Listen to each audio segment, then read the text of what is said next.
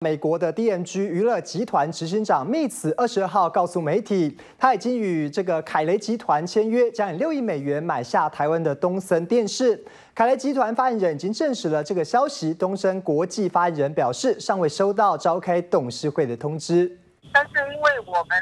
这边哈，曾经在董上次董事会有有通过，就是说如果价格合理的话哈，我们是会跟那个凯雷一起出场。那时候交易的对象、交易的条件都不都不明确嘛，所以我们是说，如果有交易明确的交易对象，还有那个交易的条件的话，那我们必须要在经过董事会以后才会认执行。